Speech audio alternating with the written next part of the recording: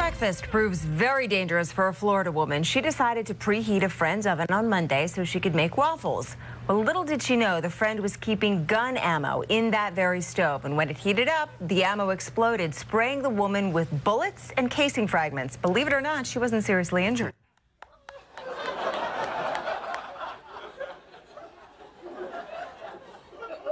Who in their right mind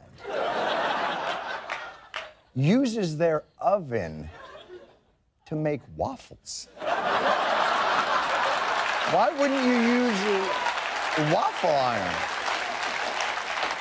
And if you're gonna use your oven to make waffles, wouldn't you check to see if the oven was loaded?